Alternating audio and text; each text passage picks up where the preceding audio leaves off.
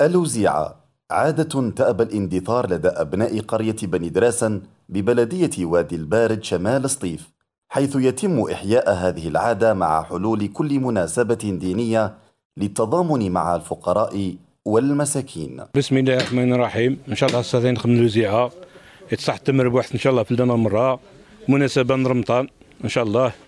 باش نخدمات باش نلاقي مرة إن شاء الله معاشرا لمولانا الدوار دونك ملاقا ولا خير الله الشهور. أنا نخدم الوزيعه إن شاء الله باش نملاقا واتش مره إن شاء الله زواليا بالنسبة لرمضان إن شاء الله دي دي الحق إن شاء الله تصحاد لهنا. وينظم إن شاء الله تصحاد لهنا. وثق بربي في لنا إن شاء الله مرة. ويستر ربي إن شاء الله تمورتنا تمورت الجزائر إن شاء الله مرة. بسم الله الرحمن الرحيم والصلاة والسلام على رسول الكريم. آه نتشرف اليوم آه في هذه في هذه الجلسة المباركة آه عند عند أهل الضيافة والكرم آه، سكان قرية بني دراسن الذين ارتأوا أن ينظموا مثل هذه المبادرة والتي ليست غريبة عن عنهم بأي شكل من الأشكال حيث أنهم كل سنة متعودون على تنظيم مثل هذه التظاهرات ومثل هذه التجمعات آه التي يقال عنها عندنا اسم لزيعة آه، حيث يجتمع فيها, فيها الغني والفقير الصغير والكبير من أجل إحياء آه، تراثهم وعاداتهم مثل هذه العادات الرائعة آه، وإحياء هذه المنطقة التي تعرضت بفعل العشرية السوداء إلى الكثير من العوائق وكثير من الإشكالات.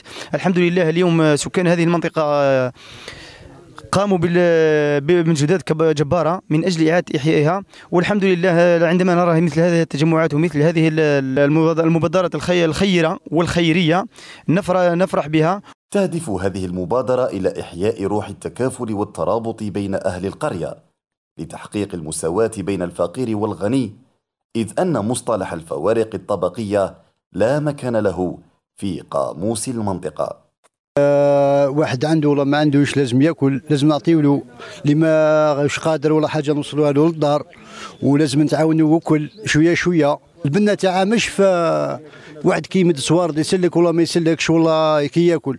البنه كيما نقولوا إحنا كيما ناكلوا شوية شوية وكل. آه هذه العادة نديروها من بكري والهدف منها آه لم الشمل المواطن مواطن القرية خاصة ومنها أيضا يستفاد منها الوزيره هذه يستفاد منها المواطن مواطن المنطقة الفقير المعوزين والأيتام. رغم أن الوزيعة اختفت من المدن الجزائرية الكبرى إلا أن قرية بني دراسا تعتبر واحدة من آلاف القرى التي تختزل معاني الألفة والتضامن في مشاهد ترسم صورة من صور التآخي والتلاحم.